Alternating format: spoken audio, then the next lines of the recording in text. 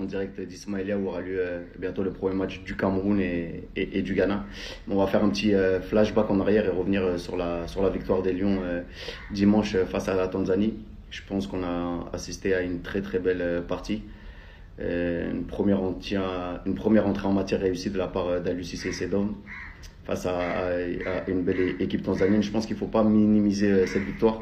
Il faut rappeler que la Tanzanie s'est qualifiée lors de la dernière journée en éliminant le Cap Vert qui n'a pas réussi à, gagner chez elle, mais surtout en, battant l'Ouganda par, euh, par 3 buts à 0. L'Ouganda, euh, qui euh, on, a bien vu lors de la première journée de cette Coupe d'Afrique des Nations, a surclassé une, belle équipe de, la RDC. Donc voilà, l'équipe de la Tanzanie, coachée par Emmanuel Amunike, avait euh, des ambitions dans, ce premier match, mais je pense que le Sénégal lui a, lui a démontré qu'elle lui a été supérieure euh, sur euh, toutes les lignes et, a complètement mérité, mérité cette victoire. Défensivement, tout d'abord, le Sénégal a, bien maîtrisé son sujet. Mendy rassurant, comme, à son habitude, même s'il a, il a été très peu inquiété. Euh, pour lui, c'est le quatrième match avec l'équipe nationale, quatrième clean sheet, zéro but encaissé pour, le moment. Donc, euh, on est satisfait d'avoir un, gardien de la trempe euh, de Mendy dans les buts. Derrière Koulibaly, par contre, de la défense, c'est un patron. il a complètement éteint, éteint Samata, un des meilleurs joueurs la saison passée dans le, dans le championnat belge, il faut rappeler 28 buts à peu près pour lui, toute compétition confondue, on l'a absolument pas vu. Euh, l'équipe tanzanienne ne s'est créée que deux occasions de but et euh, zéro tir cadré. Donc euh, au niveau de la défense, le Sénégal s'est rassuré avec un, un Moussa Wagé entreprenant et extrêmement bon défensivement et offensivement avec un Sabali toujours égal à lui-même. petit bémol, petit point noir, la, la blessure de Sané. Euh, qui devrait être indisponible. On a dit c'est une entorse à la cheville, 10, euh, 10 jours à, 2 semaines, donc ça c'est un peu euh, le, point noir, même si Cherkou Yaté a fait le job lorsqu'il est rentré, on connaît tous Cherkou. Moi je le préfère personnellement défenseur central, donc cette combinaison entre Koulibaly et, et devrait continuer lors, des deux prochains matchs. au milieu de terrain, moi j'ai beaucoup aimé Papa Lunjai. Euh, Pan qui est actuellement du côté de Galatasaray, il faut rappeler qu'il a été euh, formé numéro 6 du côté, du côté de Jambar. On a souvent utilisé en tant que 8-10 en, sélection et moi je pense que c'était absolument pas le rôle euh, qui lui convenait. Alors c'est un joueur qui se projette beaucoup vers la bande, qui marque beaucoup de buts, qui a une facilité pour éliminer les joueurs. Donc on a souvent voulu le cataloguer comme un joueur offensif, mais il est meilleur à, la récupération. Papaloum, il est très bon, il c'est faire briller ses coéquipiers, euh, fermer les espaces. Et je pense qu'il a, il a donné une grande stabilité à l'équipe du Sénégal et ça a permis à Idrissa Ganagay euh, de jouer un cran plus haut qui est euh, habituellement lui la, sentinelle de son équipe à Everton ou, en équipe nationale. Il a hérité du brassard de capitaine. qu'il a donné ensuite par, à, à, un, geste à, saluer. Bravo à Idrissa Ganagay et pour moi il a été l'un des meilleurs sur le terrain, euh, extraordinaire. Il avait fait un très gros match euh, face, face, au, face au Nigeria. Il avait même marqué en, en, amical lors, de la victoire. Et là, encore une fois, il a démontré qu'en jouant un cran plus haut, il pouvait apporter énormément à, ses partenaires. Il faut euh, souligner que c'est le joueur qui a le plus couru lors, lors de ce match, 10 km 3. Ils, ont, ils sont deux à avoir dépassé la barre des 10 km. C'est lui et, et Crépin Diata. Mais Crépin, on va, on va y revenir après.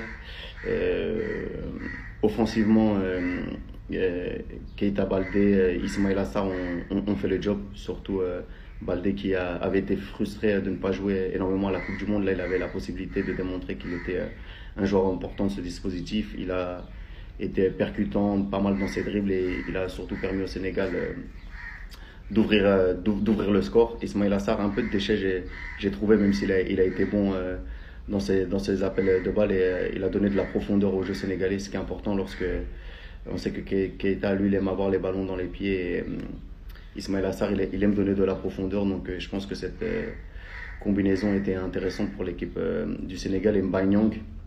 Je vois beaucoup de gens qui l'ont critiqué.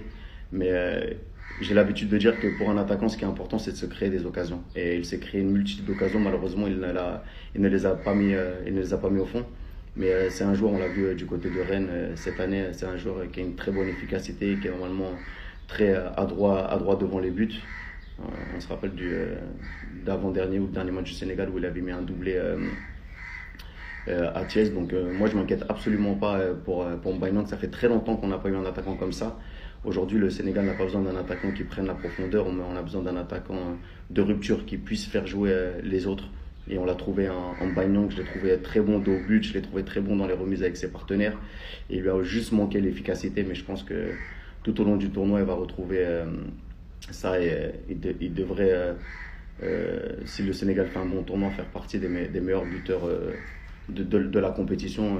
si sur ce match-là, il avait mis trois buts, on aurait tous applaudi. Donc il ne faut absolument pas l'enterrer. On a manqué un peu d'efficacité offensive, c'est clair, mais voilà, il faut continuer à l'encourager. C'est le joueur qui s'est créé le plus d'occasions.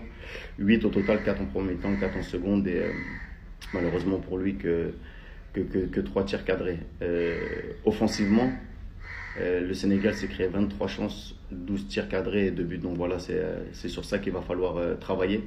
Mais ce que j'ai envie de retenir de positif, c'est qu'habituellement, on, reproche à, à l'UCC de ne pas savoir jouer lorsqu'il y a un bloc bas. Et euh, là, il a démontré qu'avec cette composition et cet alignement, notamment au milieu, ces petits gabarits, Pan, Et, euh, et, et Ghana Gay, euh, on avait la, maîtrise et le contrôle du ballon. Et moi, je pense que c'est ce qu'il faut, faut, retenir lors de ce match. Maintenant, Crépin Diata, homme du match. Bravo, bravo à ce petit. Il faut rappeler que c'est un, un, gamin qui est tout jeune en sélection. C'est que sa quatrième ou cinquième participation avec les Lions de la Teranga à 20 ans, jouer un match titulaire face à, face à, la Tanzanie en Coupe d'Afrique, c'est jamais facile. Euh, nous, les Sénégalais, on connaît Crépin Diata. Euh, il a fait toutes les catégories de jeunes chez nous et euh, on était un peu déçus lorsqu'il n'était pas présent au mondial, non pas pour jouer, mais pour avoir de, l'expérience. Je faisais partie de ceux qui avaient publicité sa venue, mais on ne veut pas le brûler et c'est ce que voulait faire à, à l'UCC. Il ne faut pas le brûler, il faut qu'il franchisse les étapes les, les unes après les autres. On l'a très bien fait avec Sadio Mane, il faudra qu'on le fasse également avec Crépin Diata. Mais moi, j'ai trouvé sa, première prestation euh, très, très, très, très, très bonne. Euh, très bon dans la transmission du ballon, très bon dans ses, dans ses prises de balles. Il a marqué un but extraordinaire. donc voilà, surtout ses contrôles orientés, il a su se mettre dans le, cœur du jeu. Et plus les minutes ont passé, plus il a, fait de, de, très belles choses. Donc bravo à, à Crépin Diata. Euh, je suis parti le voir personnellement à la fin du match euh, dans, les vestiaires euh, pour le, pour le féliciter. Je me souviens lorsqu'il partait en, en, Belgique, je l'avais rencontré avec son agent Tierno et on, a, on avait fait une photo ensemble. Il m'avait demandé de faire une photo et avec grand plaisir, je l'avais fait et je lui avais souhaité bonne chance. Et le voir maintenant à ce niveau-là ne me surprend absolument pas et ça, ça, me fait plaisir. Il va falloir également qu'on revienne sur la petite polémique qu'il y a eu sur les réseaux sociaux. Vous savez, euh, on dit beaucoup que l'émotion est nègre. disait Aimé Césaire, il ne faut absolument pas rentrer euh, dans, ces débats-là. Il ne faut pas se, se rabaisser à, ce point-là. C'est un très très très grand joueur et il y a une expression que j'aime bien en Afrique, on dit que lorsque vous vous battez avec euh, le cochon dans la boue, lui il est heureux et vous vous, sentez sali, donc on on va pas aller se battre avec eux.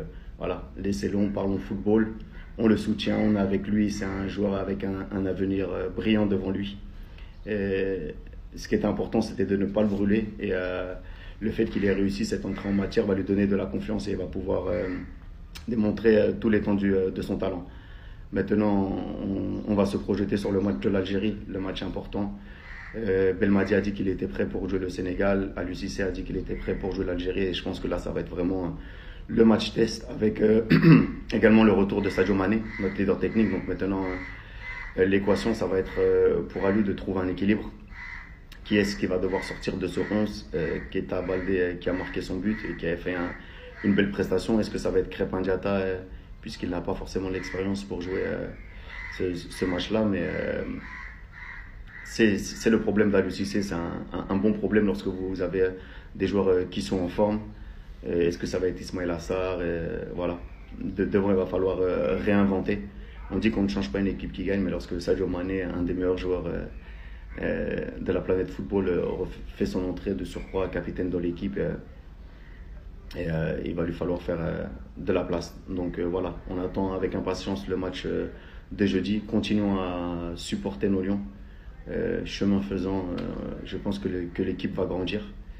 Et bravo aux supporters sénégalais qui se sont déplacés ici au Caire et tous ceux qui supportent au Sénégal. Voilà. On essaiera de faire des débriefs 48 heures à chaque fois après les, les rencontres, prendre un, un, un, peu de recul et surtout chercher, chercher le positif parce qu'il y a beaucoup de choses positives avec le Sénégal et pour aller au bout, il va falloir qu'on tire tous du même côté. Voilà. Moi, je suis à Ismaïlia. Je serai le TSG du groupe de Ghana et Cameroun. Je vous embrasse. Il fait très très chaud au Caire, mais voilà, on est, on est content. Tout se passe bien. C'est la fête du football africain et continuons à, à, supporter les Lions et à, à supporter l'Afrique en général. Allez, passez tous une bonne journée, courage et on se dit à, à très bientôt.